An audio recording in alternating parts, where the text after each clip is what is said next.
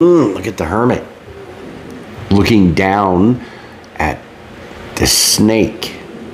Hermit is looking down at the snake. He's shining the light on the snake. Mmm, that could be very interesting.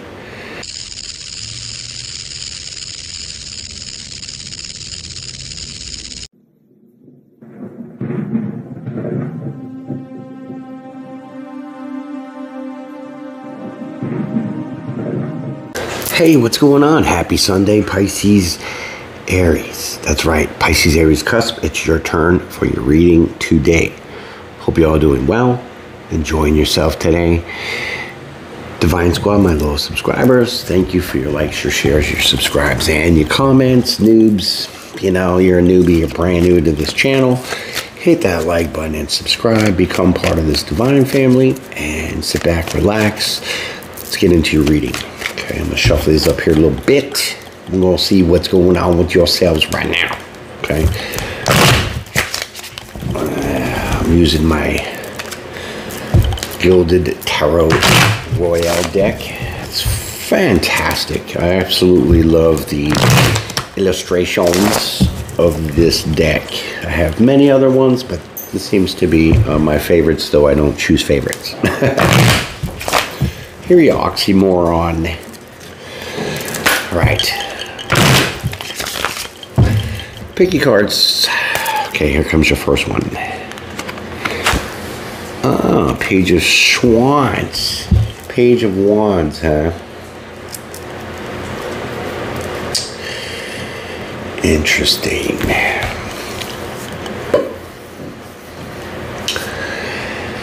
Yeah, well, looks like someone's coming in with some passion, right? They want to bring this passion to you. Or this is you wanting to bring it to someone else. Right? Okay. So, noobs, real quick. I ain't like anybody else you ever known in your entire life or ever will. Okay.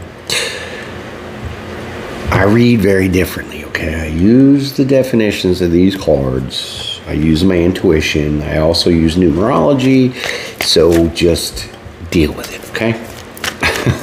Let's go. Here's your second card that you picked. Oh, Knight of Pentacles.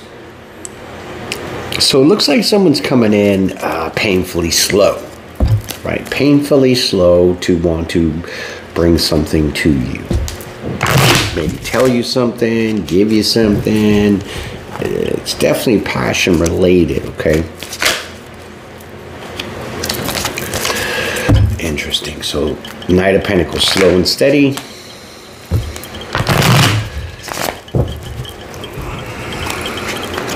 Taking action towards stability. Hey, these cards are not being cooperative. Okay. So the energies could be reversed and the roles could be switched, okay? So this is either you or them. Take that how it fits, because if it ships, it will fit, okay? Let's get to the first card of your story. All right, here we go. Here we go. Eight of Swords. Hmm. Overthinking this? I think so. Tiny bit. Trapped in your mind. Or you're not seeing something because this person is wearing a blindfold stuck in their head, right?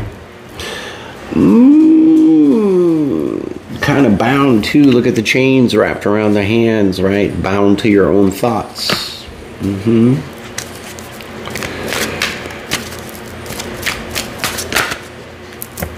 Mm-hmm. Ace of Cups. Yeah, you're overthinking this. I mean, this is. Ace of Cups is a brand new start in love, right? A romantic opportunity.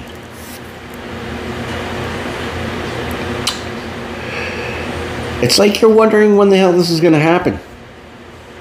Because it's slow and steady with this person coming in with this wand wanting to give you some passion, even though it's a page, it's small, it's immature, it's not full blown. You know what I mean? So let's dissect this further. Yeah. A lot of symbolism in that card right there, my friends. I tell you that. You got the moon phases, you got the eye, you got all the koi, and you got that big old chalice dripping with love. Mm-hmm.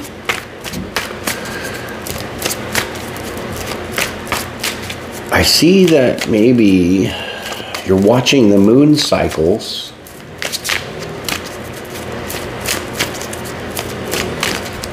Hmm. Or someone's watching the moon cycles. Trying to plan this exactly when to make this move. This is what I feel. We're just into Pisces new moon, or full moon, I should say. Let's see what happens. And get it, there's fish. Fish. In there, koi fish. Pisces is represented by the fish. So you could be thinking that this is going to happen during this moon cycle. Mm-hmm or they're trying to make it happen during this moon cycle. Let's keep going. Ah, oh, Ace of Wands. Oh my God, two aces back to back. It's very strong energy, my friends. Super strong.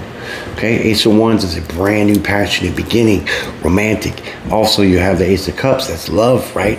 Boom, two opportunities. So this is creative. This, I mean, this could be an endeavor, right? This could be a, a passion project or something like that. But with these two together, it's not only love, but it's also passion. Hmm. Hello. Professional card droppers in the house. There's your Fool card. A leap of faith, a new journey, being brave, getting ready to jump off the cliff So I definitely feel that this person is waiting and buying their time to come in. This is more of all their energy, right? This is all their energy. They're overthinking this and when they should take the right time to move in for this new journey, this new romantic, passionate beginning, this new start. Yeah, very interesting here.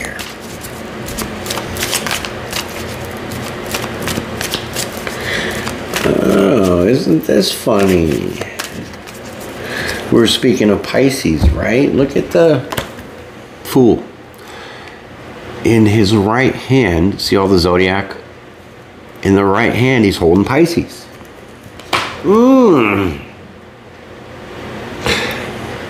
Koi fish, Pisces. Moon cycle we're in now is Pisces. Very interesting. Okay. Let's keep going. Let me sip my water here. I thought I put ice in this. Ah, lemon lime water. Mmm, that's just so delish. And you know what's also funny? what is this reading now? Pisces Aries. Mmm, something with Pisces here. Here's the Wheel of Fortune. Boom, in your face. Ooh, in your face, huh? More the moon. Yeah.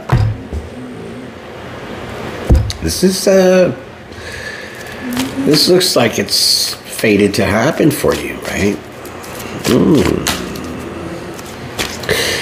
Yeah, I'm seeing Pisces all over the place. Pisces is the bottom of this card. Well, not the card, but at the bottom of the zodiac right there. Pisces right there. So far, that's one Pisces, two Pisces, three Pisces, four Pisces because the moon cycle. Interesting. All right. Let's go. Let's go. Mmm. Seven of Swords.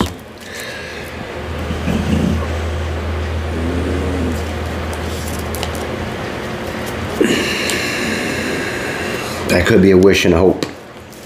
They're wishing and hoping that this is the leap of faith towards destiny of this romantic love opportunity that they are trying to plan during this moon cycle. I mean, that's very obvious because they have been taking their time bringing this to you, or you bringing it to them.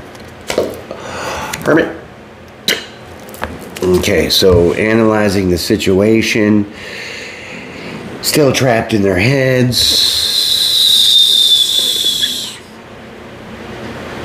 Shining the light on something, but ooh, what's this in the bottom? Mm, look at the hermit looking down at the snake. Hermit is looking down at the snake. He's shining the light on the snake. Mmm, that could be very interesting.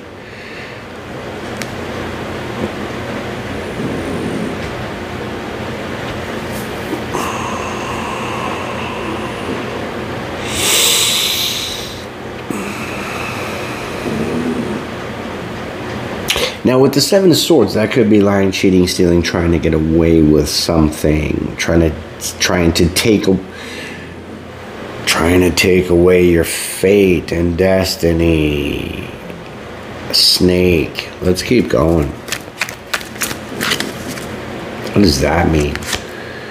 Uh, it means you're trusting your intuition that this person only wants one thing, right? Though they they are overthinking a situation to come in and present this romantic, passionate love offer for a new beginning, right? That they are now somehow trying to take away your destiny, your fate.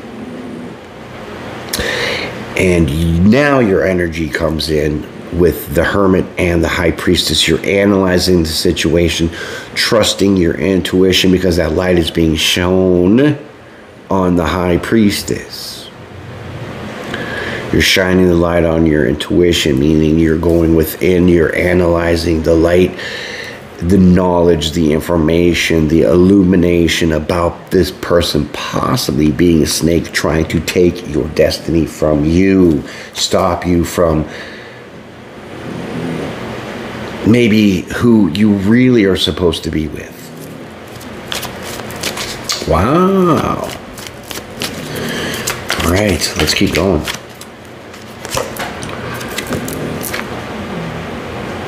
Two of wands.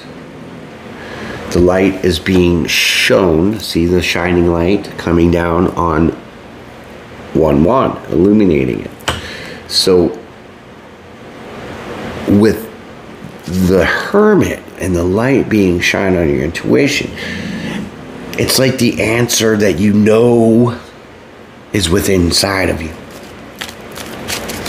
The choice that you have to make is already illuminated, but within you.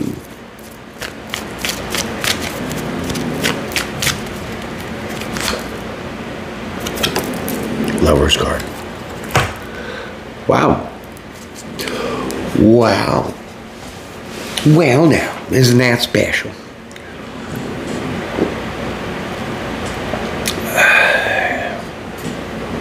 Like I was saying, this person's coming in as a false person, trying to make you think that, you know, you're going to have a brand new love, romantic, passionate beginning and take this new journey with them but all they're really trying to do is take away your fate, your destiny. They're trying to intervene on what is supposed to be for you. And so now that you're shining the light on this snake, trusting your intuition, that you have a choice between two lovers. And one is of the light and one is of the dark. Because that two of wands, the light is shining down on one wand and the other one is kind of dark. So I think the dark here is represented with this page of wands. Mm Let's keep going. One of them is your real divine counterpart that you're supposed to take a journey with. And maybe this person has been uh, trying to plot and plan to intervene on this journey that you're about to embark on. Okay. Wow, this is juicy. Let's keep going.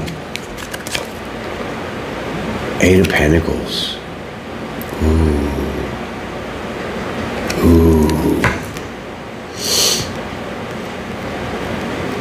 Uh, this is going to be a hard decision. It's going to be hard work to to to like discern who's who. Because your other person has not shown up on the board yet though even though the lover's card is here with the, the two of wands representing a, a choice of two. Okay. Let's get to the last card of your story and then we'll get to your outcome. But do me a favor hit that like button and subscribe thank you my friends there it is queen of wands boom there's the other person Wow. So now you have a page of wands and a queen of wands. That is the two of wands. That is the choice between the two. Mm.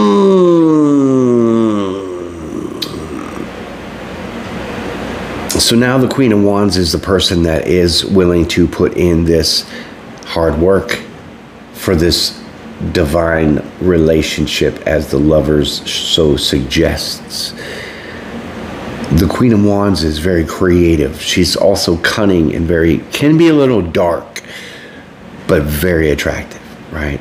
Very passionate. Ooh, this is getting juicier. Okay. All right, let's keep going. Here comes your outcome. Hey, hey, hey, hey, hey. I've been getting better at not dropping the cards, but you know, when they drop, it's obviously meaning something for me to bring to your attention. So here comes your first card of your outcome. Whammy! Ten of Swords. okay. It's not betrayals, it's not backstab, it's not uh, anything but the ending of that. The ending of that um, because tens represent endings and completions. Swords is your mind and your communication. So the Ten of Swords is underneath the Page of Wands. So that is the betrayer. That is the backstabber. That is the one that has been trying to take away your destiny with the Queen of Wands, who obviously wants to put in the hard work for this relationship. And this is why it's hard for you to make this choice because you have to you're not seeing it because they're putting on a good mask. And so now you have to use your intuition and go within to really shine that light on the snake. Mm. Let's keep going.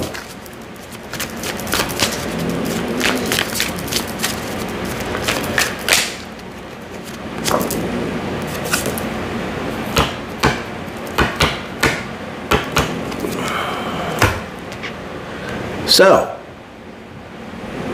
Queen of Pentacles, Ten of Swords. This person was only after your money, my friends. Look at the Queen of Pentacles. She's looking at the finance, looking at this giant pentacle, right? This is the burdens, betrayals, backstabs, deceits, which kind of ends that cycle with this page of wands that come in very slow and steady, methodical, trying to plan out when to come in and be a fool and say, let's take this journey when they're really only trying to intercede on your own destiny of who you're really supposed to be with. Wow. So, my friends, trust your intuition, shine that light within, and the answers are there because the Queen of Wands is waiting to put in the hard work for you as your true divine counterpart. Mm has been your reading, my friends. You better hit that like button and subscribe if you know what's good for you. You know what I'm saying? Also, tell your friends and your neighbors. Tell everybody at the grocery store. Tell people at the subway all about my channel. Thanks for subscribing. If you have, if you haven't, what are you waiting for? Binge my playlist as well. Check out my other videos. Enjoy your Sunday, my friends. We'll see you again.